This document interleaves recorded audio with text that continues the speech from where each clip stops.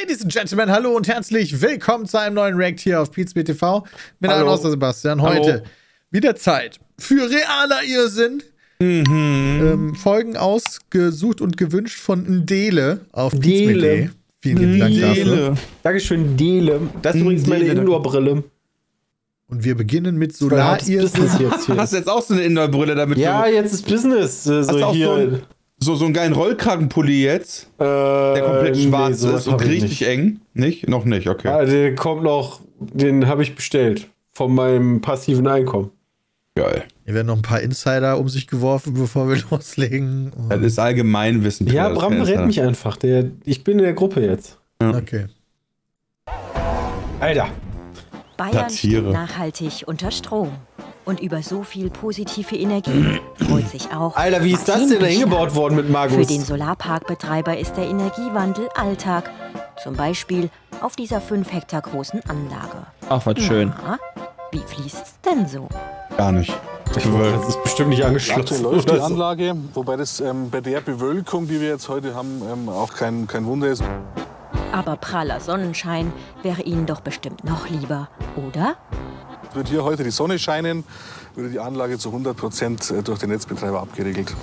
Also zu 100 Prozent Abgeriegelt? abgeschaltet. 170 Mal in 2022. Was? Denn wenn die Sonne scheint, wird es im nahegelegenen Umspannwerk immer etwas spannend.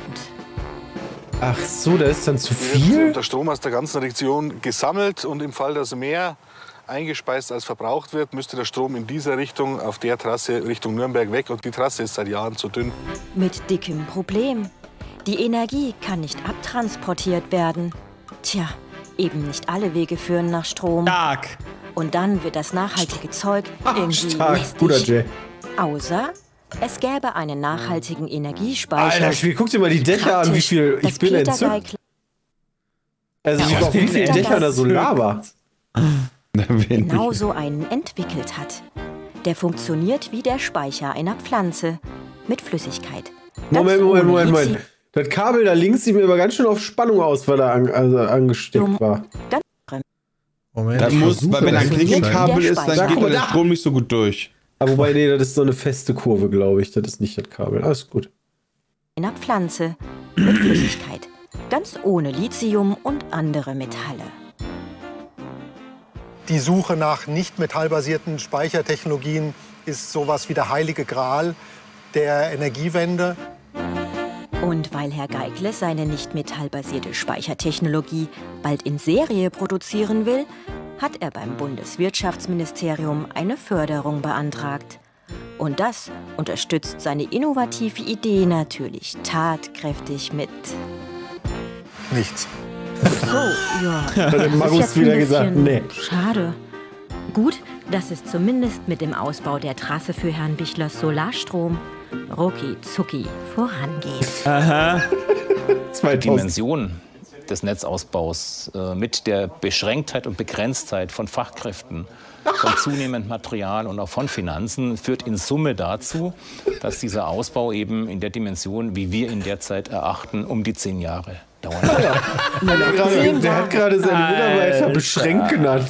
Boah. Die Beschränktheit meiner also der Mitarbeiter. Zehn Jahre?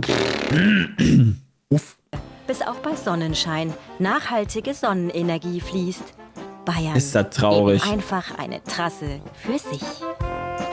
Ist das traurig. Da hat man schon so ein schönes Ding dahingestellt, ne? Und dann kannst du mit dem Strom nichts anfangen. Das ist ja echt belastend. Ja.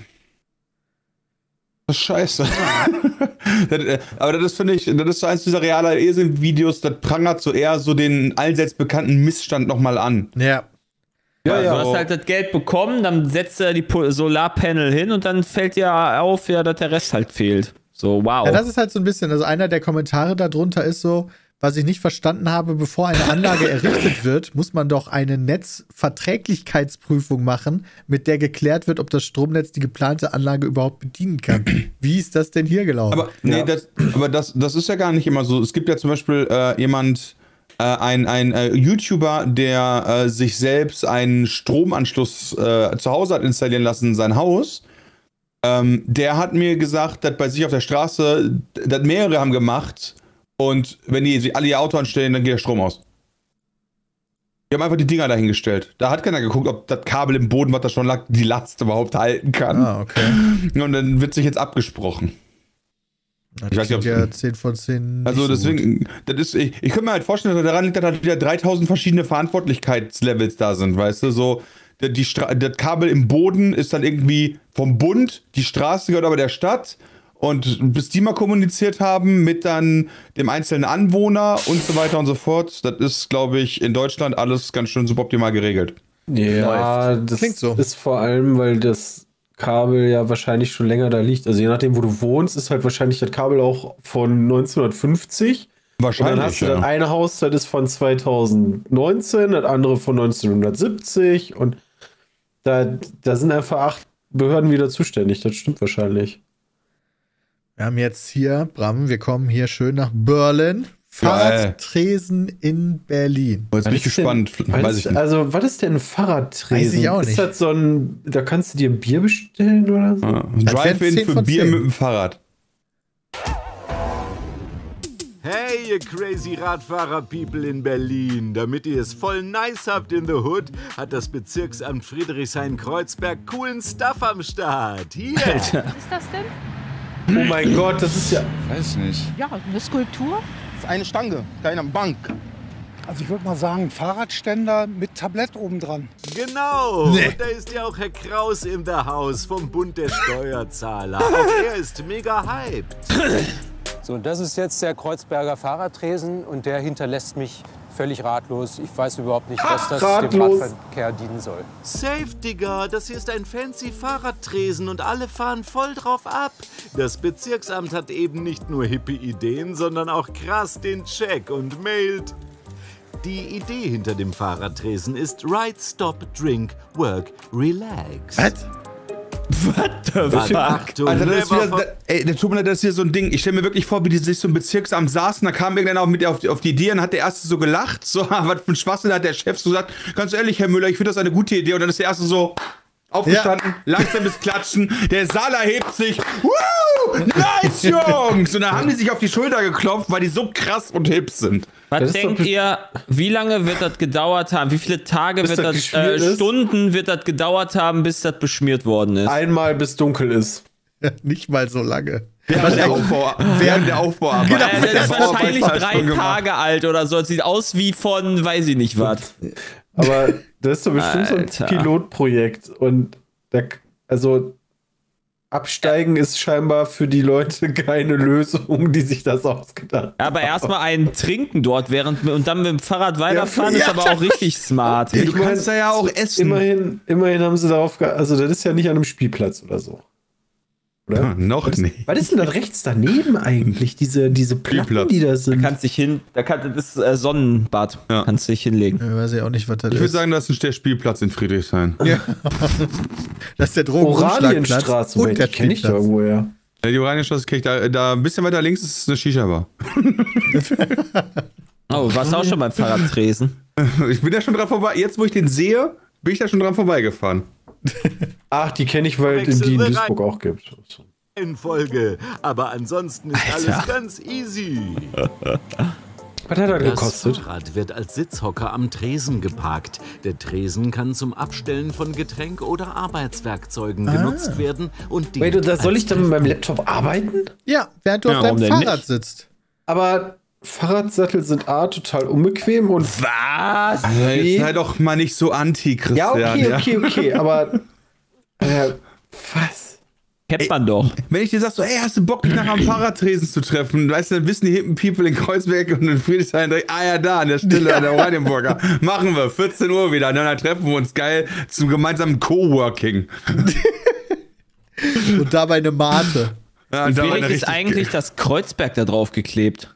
Ja, das sieht irgendwie ist nicht. so Das ist auch wieder einfach so, das ist Berlin. Ja, die sind zusammengelegt worden mal, die Ämter. Das war, Ja, und das dann hat man Ja, dafür das nicht die man. das Möglichkeit hat gehabt, nicht das ganz geschafft. gescheit So, drauf zu machen. richtig. Das man dann so halb gar Nee, scheiße. Fried, also Friedrichshain stand da schon, der Rest ist dann aber, das ist, also Ja, ach meinst so. ja, pass auf, Jay, du glaubst jetzt, das wäre da rechts drauf gemalt, aber das ist gar nicht, das ist da so reingeritzt in den Blauen. den Lack einfach Wie so in der. Gefängniszelle, wo man die Tage ja, zählt. genau. Keiner loves you. Da übrigens. Also wenn ich mich wirklich mit Menschen unterhalten möchte, dann steige ich schon auch ab, glaube ich, vom Rad. What? Hier kann man nice Sattelfeste feiern. Oder wie das Bezirksamt would say, Saddle Party. Was hat das denn jetzt Immerhin gekostet? passen ganze drei Räder bequem an den Tresen. Und mit ein bisschen Geschick ist es hier super cozy. bin gerne dafür, dass es mehr Fahrradinfrastruktur gibt, aber sowas muss jetzt nicht unbedingt. Also ist jetzt nicht das Erste, was ich brauche. So. Fehlt halt vielleicht noch so ein Ausschank oder irgendwie. Kann man hier noch ein Fass installieren oder sowas. genau ein Fass. Aber er ist auch abgestiegen. Ja, hatte der überhaupt ein Fahrrad? Ja, das stand da links. Ja, okay. Kreuzberg ist schließlich flüssig. Der Fahrradtresen mit den ganzen Arbeiten drumherum hat 8.300 Euro gekostet. 8000 Euro. Für Tisch. Hättest du mir gesagt, mit 8000 mit 8000 Euro würde ich einen Laden aufmachen. Ich fände so an, an Ampeln so äh, Fußtreter finde ich irgendwie besser als eine Bar. Lieber glatte Fahrradwege. Also da vermisse ich dann eher noch so ein paar Bänke und ein paar Bäume. Kann man anders anlegen. Ist ja wohl irre, Ja? ne? Würde ich sagen. Aber Berlin ist ja sexy. As hell. Also lasst dem Tresen doch gerne ein Bike da. Hier in Berlin Cross Hill. Machen wir uns nichts vor. Extra 3 auf YouTube. Alter. Oh Mann. Ja, Berlin ist schön. Ne? Berlin ist anders halt einfach. Anders, ja, das ist es. Berlin es aber auch, Leute. Schlechter, muss man leider auch sagen. Berlin schwimmt im Geld, die können sich soweit erlauben. Nein, das ist ja, das ist ja immer Motto, äh, Motto. Berlin ist arm, dreckig, aber sexy. Wobei, ich muss auch sagen, ich habe mit, mit mehr gerechnet als 8000 Euro, muss ich, bin ich ehrlich. Ja, aber Alter, dafür, dass die einen Tisch da aufstellen, Ja, also aber come on. das ist auch immer noch irgendwas von der Stadt vergeben. Ja, ich dachte, allein die Planung würde 17.000 Ja, aber kosten. müssen, müssen nicht Städte, Städte und Länder immer die Aufträge an den günstigsten Anbieter vergeben? Also, ja, aber das war der Christian. Kennst du irgendjemanden auf diesem Planeten, der so ein Ding baut? Ich nicht. Äh. also gab es einen und der war der günstigste. Also, ich glaube, vielleicht war das auch einfach so ein Projekt, wo man sich gedacht hat, wir müssen noch ein bisschen Geld verschwenden, damit wir nächstes Jahr wieder die gleichen Gelder bekommen. Das kann gut sein. An, ansonsten wirklich, ich glaube, ich glaube, wirklich, wenn da draußen irgendwie so ein Schmied ist oder ein Handwerker, der es schafft, so Sonderanfertigungen zu machen, ihr solltet euch vielleicht mal wirklich bei öffentlichen Aufträgen äh, umgucken. Wenn die ausgeschrieben werden, da bewirbt sich sonst keine Sau drauf, weil das keiner kann. Ich frage mich mittlerweile auch, ob dieses System, du hast letztes Jahr, keine Ahnung, äh, 10 Millionen Euro gehabt und hast die nicht ganz ausgegeben, also kriegst du jetzt weniger. Ich, irgendwie finde ich das bisher immer nur doof, weil da wird dann immer nur noch Schmu mitgemacht. aber es wird auch Geld ausgegeben. Das stimmt, aber das, das ist ja immer wieder, dass dann irgendwie, oh, wir müssen noch irgendwie so und so viel Geld ausgeben. Überlegt euch mal was. Also, das ist doch eigentlich nicht Sinn und Zweck der Sache. Man hört ja nur die Negativbeispiele. Habt Trust in unsere Verwaltung, Christian. Nein. Internationaler Biomülltourismus sehen wir uns jetzt noch zu guter Letzt. Ah, das habe ich auch mal gemacht. Das fand ich auch schön. Okay. Das ist Biomüll aus dem Landkreis Ravensburg. Wenn der eingesammelt wird, hat er noch einen weiten Weg vor sich. Denn er wird nicht in Ravensburg verwertet. Das ist Ey, da ziemlich waren wir auch. kurios. Achso, du wolltest nur sagen, da waren wir auch. Ja, im Ravensburger Spielland, weißt Ja. du noch? Ja, war mega geil. Der Bio Was? nach. Moment, Moment, Moment, Moment. Das ist ziemlich kurios. Der Biomüll aus dem Landkreis Ravensburg wird nach Österreich in das Bundesland Vorarlberg nach Lustenau gebracht. Das ist eine Entfernung von etwa 50 Kilometern von hier. Für die rund 10.000 Tonnen deutschen Biomüll aus dem Landkreis Ravensburg sind pro Jahr rund 800 Deutsch- Fahrten nötig, um ihn über die Grenze nach Vorarlberg in Österreich zu bringen. Hin und Warum? zurück sind es 100 Kilometer. Dadurch werden Deutsch-österreichische 55 Freundschaft, Tonnen Leute. CO2 ausgestoßen. Bei der Firma Loacker wird aus deutschem Biomüll österreichisches Biogas gemacht. Wir äh, sind äh, aufgrund der Vorschriften gezwungen, diese Leistungen europaweit auszuschreiben. Es gibt ähm, Anbieter, ähm, es gibt einen Gewinner und ähm, je nachdem, wo der halt regional herkommt, äh, können solche Situationen entstehen. Das sollte es nicht Ah. geben, eigentlich. Das ist schlimm, aber Das meine, heißt, was ist der Dude aus Lutzenau in Österreich da, der hat ein Angebot gemacht, was der, wo er seine Fahrtkosten mit drin hat, was billiger war als ein regionaler Anbieter, der nicht so weit fahren müsste. Der hat ein Angebot gemacht, was du nicht ablehnen kannst. Ja, aber dann stellt sich ja die Frage, ist der regionale Anbieter dann einfach nur ein gieriger Hund gewesen? Ja, oder der andere, weiß ich nicht. Vielleicht ist die nächste. Biogasanlage auch weiter weg, keine Ahnung. Oder in Österreich müssen die ihre Ravensburg, LKW-Fahrer ne? nicht so gut bezahlen. Ravensburg. In der Nähe suchen Biogasanlage. Jetzt ist hier Pizmedia so unterwegs. Und deckt jetzt hier auf. In der Nähe suchen. So, Biogasanlage. AWB am Zeller Werk für Biogas GmbH. Ja, die hat den nicht 24 bekommen. Minuten entfernt. Das sind Wahrscheinlich Weniger weniger als 50 Kilometer. Äh, Startpunkt auswählen. Warte mal, Ravensburg. 15 Minuten mit dem Auto sind 13,4 Kilometer. Die wollten wohl, die haben ein Scheißangebot gemacht, scheinbar. Ja, offensichtlich. 30 Schade am Cent Zelt. mehr. Heute nicht schlimm. Es ist alles irgendwo gaga, sage ich. Alles. Ich denke, es ist unser Müll, der soll auch hier bleiben. ja? Und entsorgt werden. Ja, die scheiß Österreicher gehen. Einfach Mein. Müll. Da bräuchte man ja auch eine Entsorgungsmöglichkeit.